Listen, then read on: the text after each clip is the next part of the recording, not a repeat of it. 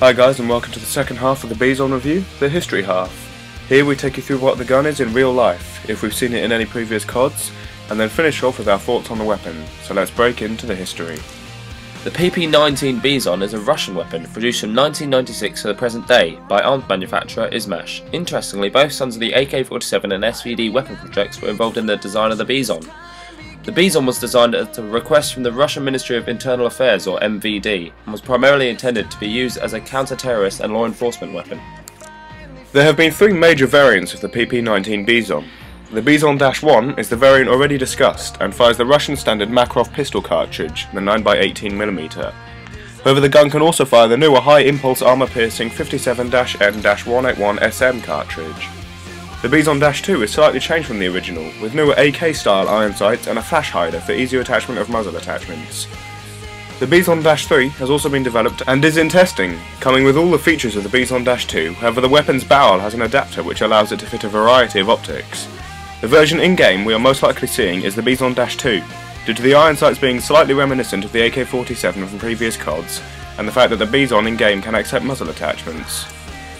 Speaking of previous CODs, a few old school gamers will remember the Bizon from a previous COD game, even though it was under a different name. The Bizon was previously in Modern Warfare 3 using the name the PP90 M1. Compared between the two games, the guns are actually fairly similar, as both had large fire rates, with big magazines and fair ease of use. Now that the history is out of the way, what do we think of the weapon? I personally thought it had very good strengths and very poor weaknesses in game. The fire rate is the gun's strongest asset for me, as being able to put that much lead onto target in that short a time is amazing.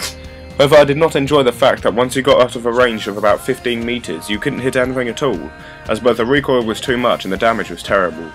I know it's a submachine gun and it's performing as a submachine gun should, but I still found it annoying that the gun has to fill such a niche role in Ghosts. I personally think the Bizon is a typical submachine gun, with a high fire rate and good mag size. Instead of precision and accuracy, it is more of a hosing weapon, just getting as much lead onto target as quickly as possible. The basic weapon with no attachments is very difficult to use for me, as the recoil is huge and the irons aren't that great, but with certain attachments it becomes a very adaptable weapon. Well thanks for watching guys and we hope you'll join us next time when we'll be covering the first light machine gun, the Ameli. This is a shout out to you here Alex.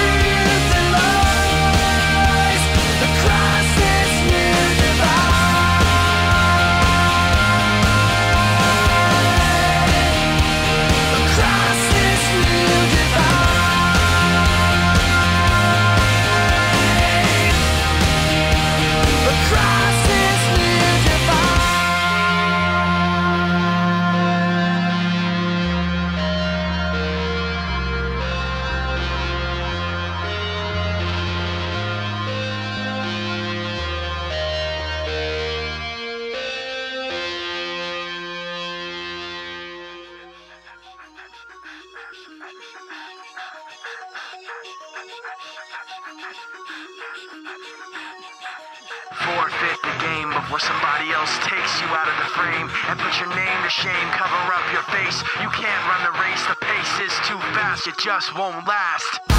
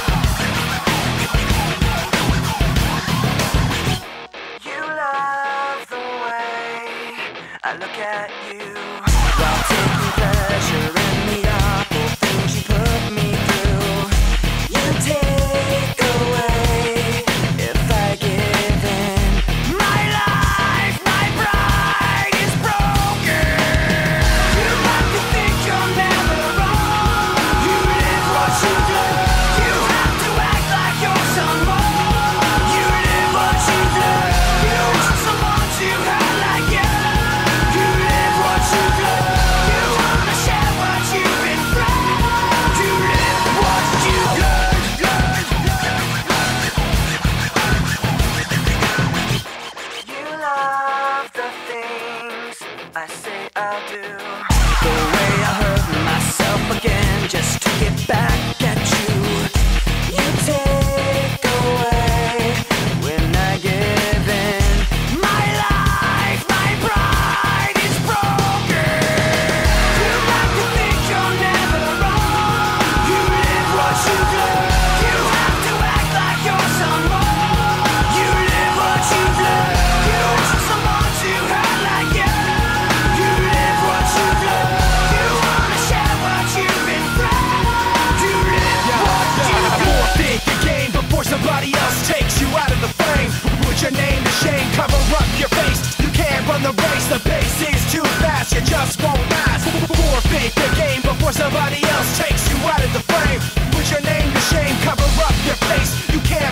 turns, the pace is too fast, It just won't last.